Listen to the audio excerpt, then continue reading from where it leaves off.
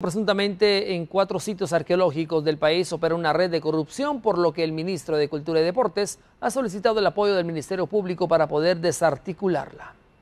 Con el objetivo de acelerar la investigación contra una supuesta estructura que opera en al menos cuatro parques arqueológicos del país, el ministro de Cultura y Deportes, José Luis Chea, se reunió con la secretaria general del Ministerio Público, Mayra Vélez, para solicitar el apoyo respectivo del ente investigador luego de la denuncia interpuesta el pasado 30 de agosto. Según Chea, dentro de las investigaciones también se le dará continuidad a una denuncia del año 2013. Fue muy importante porque además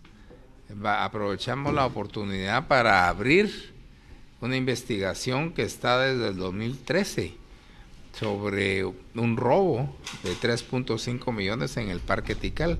Es una denuncia que se presentó en el 2013 y que no se le ha dado seguimiento y que según tengo entendido eventualmente culminó con el asesinato de una de las funcionarias del ministerio en esa época. Es un tema serio, o sea que